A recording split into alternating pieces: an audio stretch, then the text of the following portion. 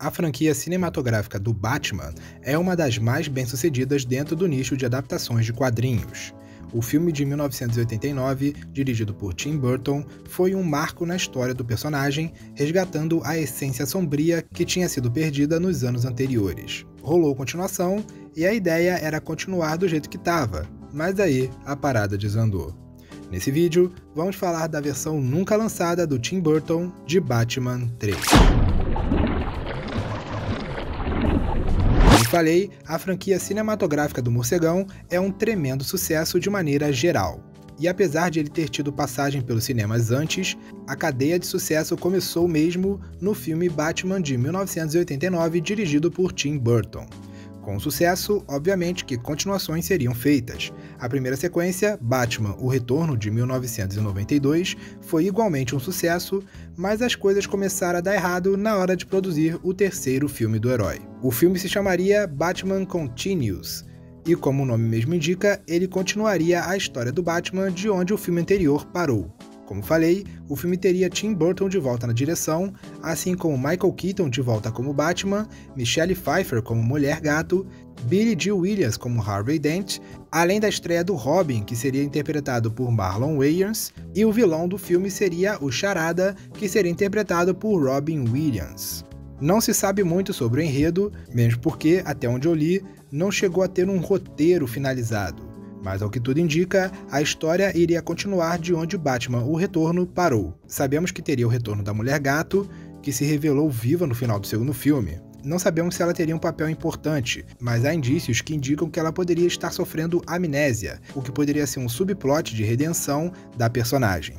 Outro personagem que retornaria seria Harvey Dent, que apareceu pela primeira vez no primeiro filme, mas foi cortado do segundo. Na verdade, o Harvey Dent estava planejado para Batman Retorno, mas acabou sendo cortado do longa e substituído pelo Max Shrek, interpretado pelo Christopher Walken.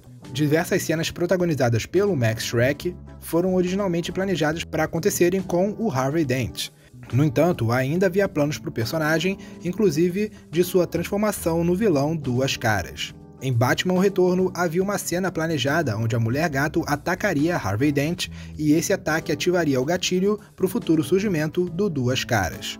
Obviamente, isso não aconteceu, mas considerando que a Mulher Gato também estava cotada para voltar no terceiro filme, eles poderiam voltar com essa ideia e o Duas Caras apareceria aqui como um vilão secundário. As duas novidades seriam o vilão Charada e o Robin. Não sabemos como seria abordado Charada interpretado pelo Robin Williams, mas considerando que havia planos para introduzir o Duas Caras no filme também, provavelmente os dois se aliariam em algum momento para enfrentar o Batman. Enquanto isso, Bruce Wayne conheceria Dick Grayson, presenciaria a tragédia da morte da família dele e o adotaria. Eventualmente, Dick descobriria o segredo de Bruce e o convenceria a treiná-lo para ser seu parceiro, virando Robin pouco tempo depois. Considerando que Batman Continues teria duas caras, Charada e Robin, podemos imaginar um plot até que bem parecido com o do Batman Eternamente, só que mais gótico e na pegada do Tim Burton. Tava tudo certo para o filme acontecer, no entanto, uma coisa fez tudo ir por água abaixo. Não foi divergências criativas, demissões, roteiros que não agradaram, nem nada. O que provocou a ruína do projeto foi merchandising. Mais especificamente, o McDonald's. Como todos nós sabemos, o McDonald's sempre tenta aproveitar o que está em alta no momento, que está no hype, para vender produto, o que inclui copos personalizados, brinquedos relacionados a esses títulos e etc. Com os filmes do Batman não foi diferente.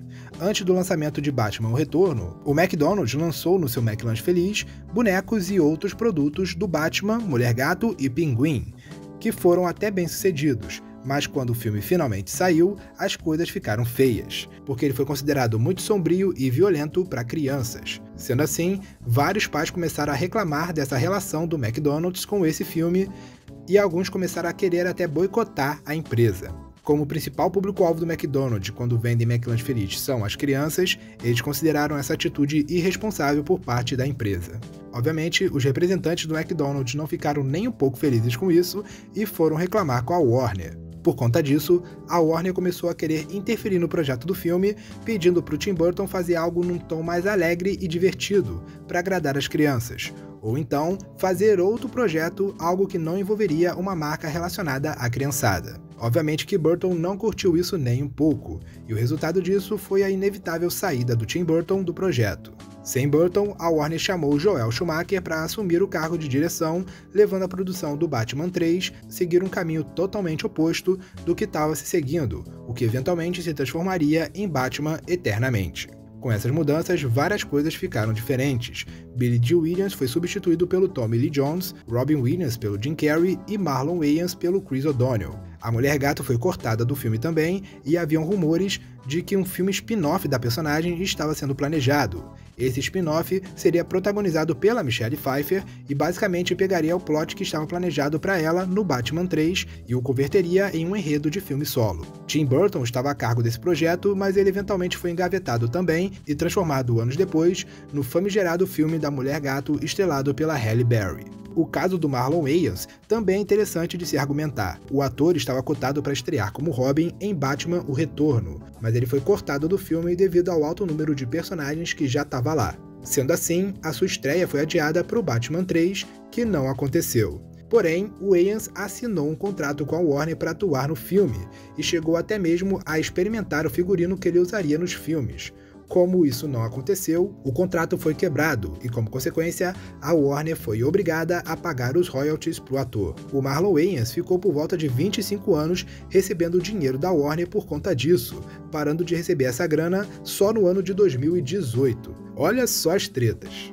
Por fim, Michael Keaton quase ficou no projeto, mesmo com a saída do Tim Burton, mas ele não estava feliz com o rumo do projeto, principalmente com a substituição do diretor que era amigo dele.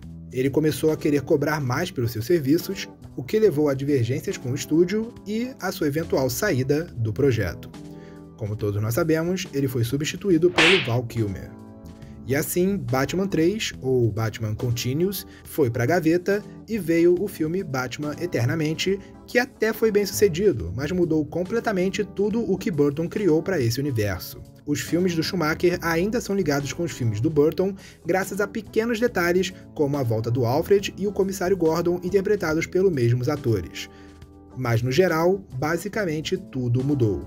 Há indícios de que uma primeira versão de Batman Eternamente ainda tinha um pouco do ar gótico do Tim Burton, talvez na intenção de fazer uma transição de tom um pouco mais leve, um pouco mais sutil. Porém, isso logo mudou e o filme virou aquele carnaval que a gente conhece.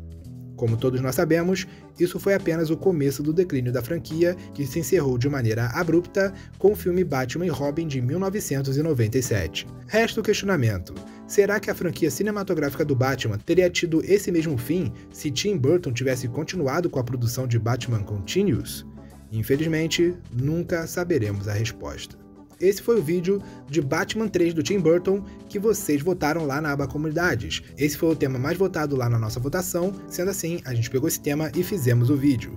Agora eu pergunto de novo: qual será o tema do próximo Projetos Cancelados? O filme solo do Surfista Prateado, Superman Flyby, a série dos Novos Guerreiros ou Lanterna Verde 2? Vá lá na aba Comunidades e vote no seu tema favorito, e o mais votado vai virar vídeo no próximo Projetos Cancelados aqui do Tentáculo.